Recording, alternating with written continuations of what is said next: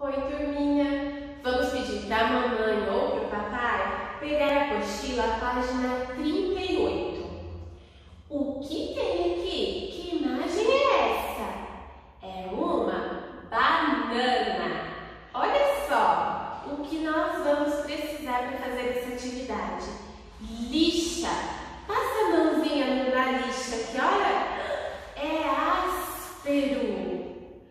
Vamos precisar também de giz de cera, giz amarelo. Vamos colocar a lixa atrás da banana, esconde a lixa e passar o giz, pintando a banana com o giz amarelo. É áspero, faz o giz. É áspero. Fica áspero. Muito bem. E olha só